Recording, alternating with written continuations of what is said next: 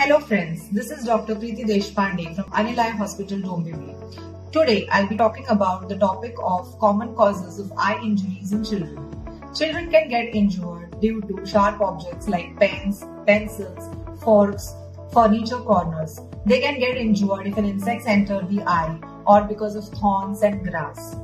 They can get injured while playing football, cricket and rugby. Also, firecrackers are one of the common causes of eye injuries in children.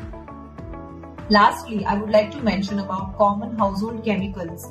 Preliminary chuna being the most commonest one which causes eye injury in kids. So in case of any such eye injury, do not panic. Do not put anything inside the eyes. Just contact your nearest ophthalmologist and take your kid over there. Any eye injury, if taken in appropriate time, is treatable.